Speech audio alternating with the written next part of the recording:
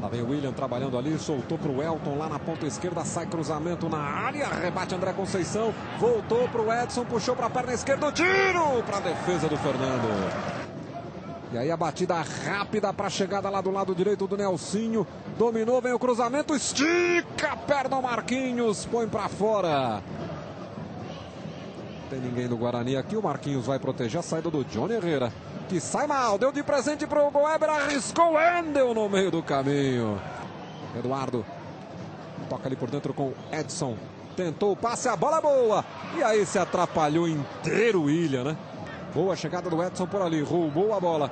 Toca curtinho ali com o Carlão, de novo para o Edson, dominou, girou, bateu para a defesa do Fernando. Faz a abertura no Eduardo, o Endo passou pedindo ali por dentro, o Eduardo vai carregando. Vai se aproximando da área, rolou. Boa bola, devolveu para o Eduardo, vem o tiro de perna esquerda, Fernando! Recebeu, Rafael Moura pede lá no meio da área.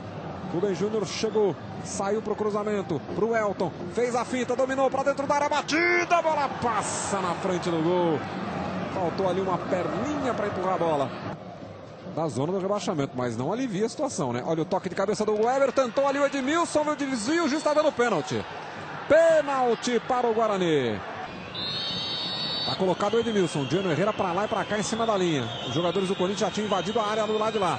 Partiu Edmilson, lá vem a batida! Gol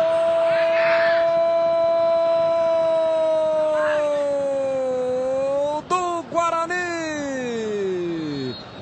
Edmilson cobrando pênalti. A festa do torcedor bugrino aqui no Pacaembu e certamente para a festa dos bugrinos em Campinas. Edmilson abre o placar e termina o primeiro tempo. Corinthians 0, Guarani 1, um gol de Edmilson. Bola em jogo. Mais uma vez você acompanhando o Campeonato Paulista. Estamos na 17 rodada.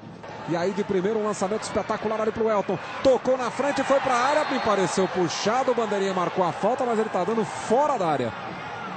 O Bandeirinha do lado de lá imediatamente sinalizou o puxão ali do André Conceição no Elton. O Elton cai dentro da área.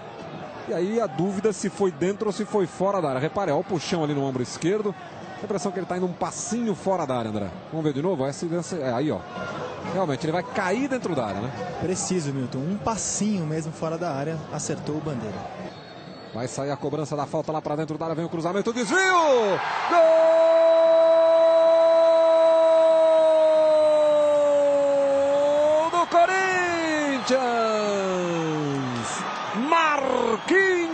O zagueiro grandalhão. Na bola batida pelo Eduardo. Ele apareceu no meio da zaga do Guarani. Mergulhou, chegou de trás, posição legal, desvia a bola para dentro do gol empata o jogo no Pacaembu. Marquinhos, logo aos três minutos. Um a um, André Rizek.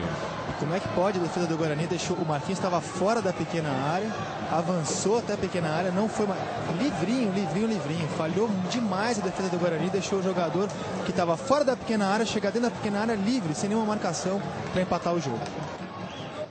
Este é o Elton. Boa bola, hein? Olha o Edson, chegou com liberdade, meteu do outro lado. Boa bola pra cá e dominou, olhou a batida, pega Fernando. Tá autorizado o Eduardo, saiu a batida, Fernando para ficar com a bola. Olha o Elton. Boa bola para cá aqui pelo lado esquerdo. Tentou devolver no meio da área. Sobrou para o Edson para fora. A bola tocou no travessão. Chega ali pelo meio. O Juca dominou. Tem espaço. Vai chegando. Pode bater. Sai o tiro. Johnny Herrera. Bola ali pelo meio com Edson. Tem aberto aqui na ponta esquerda o Rubem Júnior. A bola é para ele. Olhou lá para o meio. Ameaçou cruzar.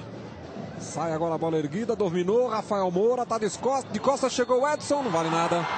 Bandeirinha já pegava o impedimento. Quando a bola foi tocada ali pelo meio, o Caio Henrique marcava impedimento. Veja, lá no meio tem um jogador do Corinthians avançado e é exatamente ele que vem para a bola. Aí, ó, o Rafael Moura domina e para variar, o Rafael Moura tá me impedindo. É, eu acho que alguém precisa ensinar para ele a regra, Milton. Não é possível. Talvez ele não conheça a regra, porque não é possível o jogador ficar impedimento em todos os lances de ataque do Corinthians. Olha o toque pelo meio, dominou o Edmilson. Gustavo tem espaço para o tiro. Johnny Herrera se mandou lá do lado direito o Wendel. Olha onde está o zagueirão aí. Saiu para o cruzamento para dentro da área. Rafael Moura de cabeça. Gol!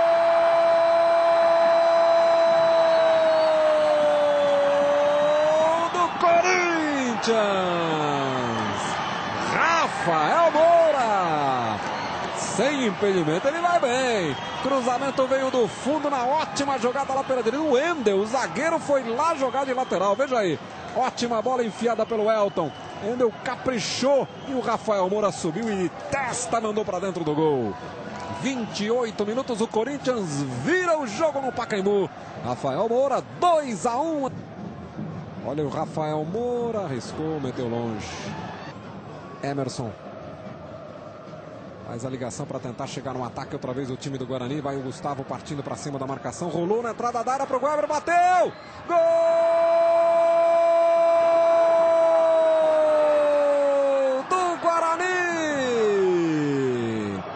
Goeber.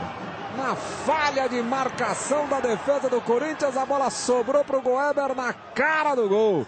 Ele só teve o trabalho de deslocar o goleiro Johnny Herrera e você vai ver que ele vem de trás. Tem um jogador do Guarani impedido lá no meio, mas que não participa da jogada. E aí ele bateu para fazer empatar o jogo aos 46 minutos nos acréscimos.